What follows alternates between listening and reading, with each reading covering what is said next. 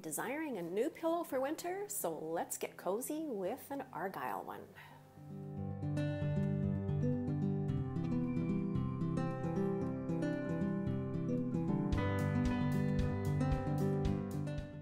Because I am rotating colors of the diamonds next to each other, I created a little template out of vinyl so I could contain the color exactly where I want it to go.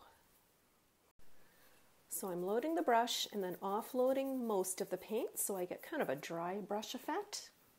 Then I know I'm ready to stencil. I'm now adding my second color, but you may have noticed that I'm not tapping the brush, but instead I'm rubbing the paint on.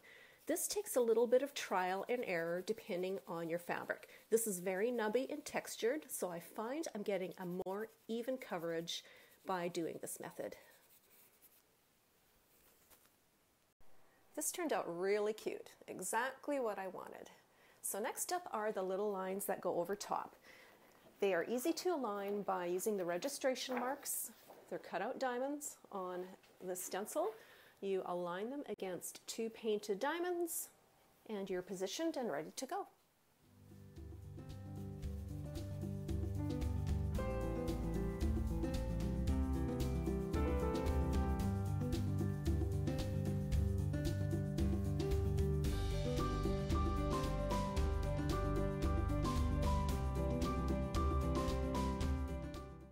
So I knew this pattern would fit really nicely if I move the diamonds up. So I kind of pre-measured all that.